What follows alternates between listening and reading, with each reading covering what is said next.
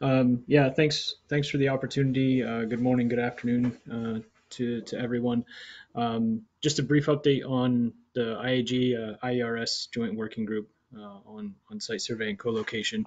Um, I would say, you know, as a as a mainly field-based group, um, we've we've kind of been hampered by the past year and a half. Though it's pretty exciting to use the use the time to uh, continue what we can and also uh, gather some some new membership. So um, uh, colleague uh, Xavier uh, Kalu, uh, when when uh, he and Zuheir were were gathering um, submissions and, and data for ITRF, they they took the step to uh, respond to folks um, who had submitted and uh, that, that may not be in this working group uh, that were submitting TIE surveys and kind of reached out. So we've actually added colleagues and connections uh, to this working group, um, active members uh, from Spain and, and New Zealand, um, updated contacts from, from GA, and um, and and have um, some outreach to uh, colleagues. We've made some connections with uh, potential colleagues in Japan. So um, many many of the existing members are are from kind of the the last version of the working group uh, prior to sort of uh, realigning some goals uh, at UAW 2019. Um, but we have some new members, and and that's really great. So we're we're really encouraged by um, by you know bringing um, uh, new new active members in and, and looking forward to, to some of the activities and research that they're doing. Um, so, and you know, th- this year has been a bit of a struggle, unfortunately for us, as we kind of continue to watch conferences and gatherings get canceled. So, um, we're working on how we could structure, you know, sort of regular meetings, um, maybe at different um, times of day to address the fact that you know uh, I am I am half a day away from uh, you know around the world literally from from half this audience. So um, we'll we'll try to keep working on that and see if we can't get interaction uh, going uh, in between. So uh, very encouraged there. Um, so some folks on, on, this call have, have seen some of the updates. Um, I, I, kept the 2020 activities listed uh, in, in this presentation because we have been, you know, many folks have been hampered by by the pandemic. Um, but we did right before um, everything kind of got shut down for us in, on the U.S. side. We did conduct a full tie survey at Mauna Kea. Um, and um, the the last job that we were going to do, or the first job that got canceled um, when when the pandemic hit, was a survey for us. We were going to do a full site survey at Goddard. That was canceled. Um, but the good news, or the the silver lining to that cancellation, was that um, they actually had an SLR that they'll be replacing soon, uh, fully replacing soon. So they have a new structure on that campus. Uh, we'll have a new instrument on that campus, and uh, we just conducted the recon actually just a few weeks ago. Um, and uh, we'll be conducting a full site survey there in the spring of, of 2022 um, after that installation is complete. So again, a bit of a silver lining to be able to uh, go back to that site with some new instrumentation uh, when we get there. Um, there were also some additional measurements taken at Zeppelin and then um, some reprocessing work done uh, that, that led to improvement. So again, uh, not necessarily a, a full-blown survey, but but the group has been active trying to make the improvements and, and do the work possible uh, under under travel restrictions for most of us. Um, we've talked about Fortaleza quite a bit. We've had requests and, and discussions for a number of years. We actually completed recon a few years ago now, and uh, again, a, a, a, pretty large impact on uh, you know from the pandemic on when whether or not we'll be able to to get back there, or or really when we're going to have to see a lot of travel restrictions ease before before we do that. But uh, hopefully, as things subside, then everybody will be kind of picking back up their activity. Um, and then I know the GA uh, reported they were uh, working on uh, organizing a local tie survey at Yarragadee um, so hopefully, as as things kind of clean up and, and get moving, we will go. So, um, as mentioned, um, we will uh, conduct a, a, survey at Goddard uh, in the spring. Um, just kind of showed a control network here as we kind of map things out. Uh, it's a very um, very full site, lots of uh, lots of um, pieces of instrumentation, lots of GNSS stations, etc. So we will, uh, we were quite happy with our recon efforts, and and uh, we'll be really happy to to bring together a, a brand new SLR um, once once we're there. And then also I put a note there. Um, I'll kind of discuss it uh, just a second. Um, we while we were on site, we met with NASA and some of our partners from the U.S. Army Corps of Engineers to talk about VLBI antenna deformation.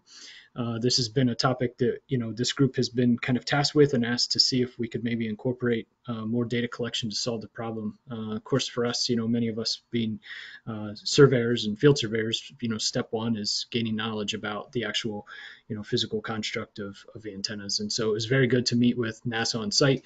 We have a commitment from uh, Army Corps of Engineers to just do a terrestrial laser scan. We know that our colleagues, some of our colleagues in in Europe last year, over the last two years, I guess. Um, conducted some testing with um, uh, VLBI scanning with uh, from a UAV platform, from an aerial platform.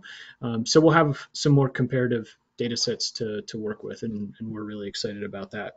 Uh, the other thing that we'll incorporate is uh, deflection of the vertical observations. Um, I gave an update on this um, over uh, a few months ago, I guess. Uh, NGS, we, we had a geodesist here that actually uh, developed a, a, mechanism to collect DOV observations using the camera from our uh, robotic total station. Uh, and then it runs through a routine, stores the data, um, and, and basically took a, uh, a timing light installation um, to, to be able to look at the different frames as, as the robotic total station tracked the celestial object. Uh, so it's pretty simple. It just uses a Raspberry Pi and uh, has a small control module. Uh, it's pretty basic at this point. It's uh, prototype number one, let's say, um, and we're hoping to kind of um, you know bring this into maybe a, a smaller package at some point. But um, it was uh, very cool to to get it put together, and um, we conducted. We've we've we've built three of them now. We've conducted tests uh, with all three at different sites here, mostly in the Virginia, uh, U.S. area on the East Coast. Um, and uh, you know, you can see in this picture what we did. the uh, historic astro mark was actually set over here, where we're taking GNSS observations.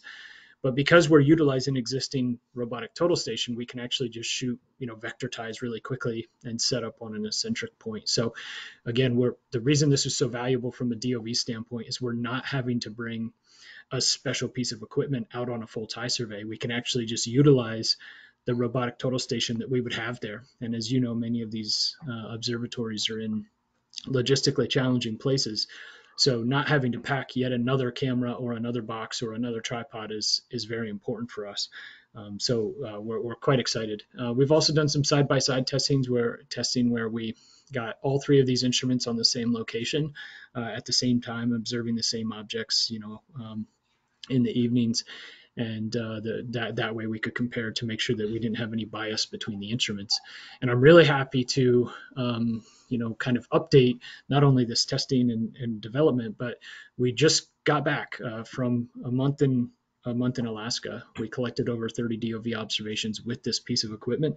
We think we'll see um, some improvements in our geoid modeling in Alaska uh, just straight up uh, right away from from the observations taken. So um, really cool picture from one of my colleagues, uh, Ben Gavin, uh, showing the, the Big Dipper in the background there. But uh, this was on an evening real observation in use.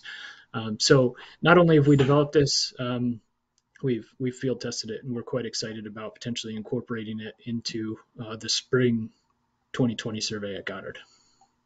Um, and then just continuing the techniques that we're using, we're, we're working on a manual. Um, our, our, colleagues uh, also, you know, released uh, TN39 uh, a few years ago, documenting kind of how they're conducting uh, these these surveys with their most modern techniques. We're, we're working on the same here uh, with our U.S. team uh, as well. And uh, you know, some of you have seen kind of these circle fitting routines that we're using for uh, VLBIs and SLRs, um, and and that is with the the Leica Absolute Laser Tracker, uh, which is um, very precise equipment, um, but it but it also makes it um, you know very sensitive to to the environment around it. Um, but uh, the, the, the prisms and the the telemetry itself is is is quite accurate. And what's nice is that you know the accuracy we're we're looking at you know submillimeter here. This is a circle fitting routine. Um, the the nice thing again is that we can do this analysis while we're in the field. We don't have to pack up and come back to the office as we're using these circle fitting routines and, and computing these e either invariant points or trying to find um, centers of GNSS um, stations, we can do this circle fitting routine on the fly. And if we have um, observations that look out of specification, we can correct it there. We can re-observe. We can make sure we're doing our job before packing, flying home from somewhere, and then realizing that uh, it's it's not as good as as we expected. So we're continuing to um, you know build in new protocols to these software uh, you know packages that we use and uh, share the results when we get them. So as mentioned, you know, a few of the things that we really would like to look at coming up. Um, the VLBI antenna deformation is very important. We've got multiple members that have kind of studied that and looked at that. Uh, we're going to keep pushing forward with um, DOV observations. We just uh, had a colleague, um, you know, also uh, release some some work that they had done on that. Uh, so that that's really good to try to build, uh, incorporate more data collection into these site surveys to make the product overall better, more informative for everybody that's doing the processing. And then the other discussion that we've talked, I've talked to Mike with this, and uh, um, and some other colleagues as we look at these sites that are that are close to each other, but maybe not close enough to potentially have the precision and accuracy of what we'd expect from from an existing local tie survey, um, and whether or not we can potentially include, you know, really long um, current uh, concurrent uh, GNSS observations to process long baselines uh, maybe deflection of the vertical observations at each, uh, especially if we have multiple pieces of equipment that we could deploy on the same evening. Um, but we're, we're really trying to kind of tease out whether or not we could kind of tie a few of these uh, sites that are that are fairly close, within you know tens or hundreds of miles, um, but but not necessarily close enough to run a traditional you know traverse or vertical leveling line. So that's a that's another piece that we'd like to kind of start investigating as well. So um, certainly appreciate the time. Hopefully that gives you a, a, fairly short look at some of the things that we're working on, and uh, happy to answer questions. Or I'm happy if you have colleagues that um, you know still haven't um, joined up the group or or if you didn't see names listed that should be please reach out to me. We'd love to add more folks. And as we really kind of bring these things together and hopefully get back to the field um, you know uh, more and more uh, as time passes i think it's going to be a, a very um, encouraging growth of this group. So thanks so much